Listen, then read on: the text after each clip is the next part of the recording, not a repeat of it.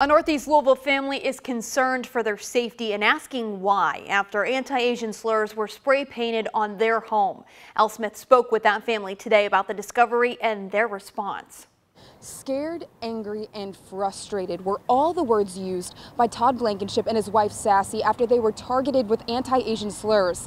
And now they're wanting answers from LMPD. Closed blinds, cameras, locked doors, and on the inside, a living room full of beds. All because of this. In bold yellow letters, the words go home, Chinese communists, and other racial slurs left on their family home. In that moment, I, I don't think I'd ever felt more fear and, or more anger. Todd Blankenship and his Taiwanese wife Sassy live in Louisville with their three biracial children. They have always felt safe in their neighborhood until now. Sassy has lived in America for the past four years and says she has never been discriminated against until this incident, and it's left her asking why. I did not think what happened to me. I watched that in the news, in the Facebook, and the online. I never think what happened to me. Made me stunned and sad.